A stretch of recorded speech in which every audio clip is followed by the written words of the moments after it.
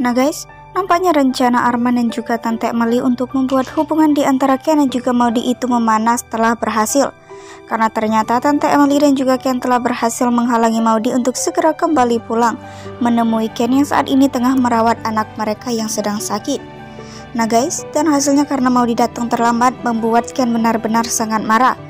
Ken merasa bahwa saat ini kesibukan Maudi telah membuat Maudi melupakan kewajibannya untuk mengurusi anak-anaknya. Padahal saat ini, anak-anak mereka lebih penting dan lebih membutuhkan posisi Maudi saat ini. Nah guys, kira-kira apa yang akan terjadi nantinya?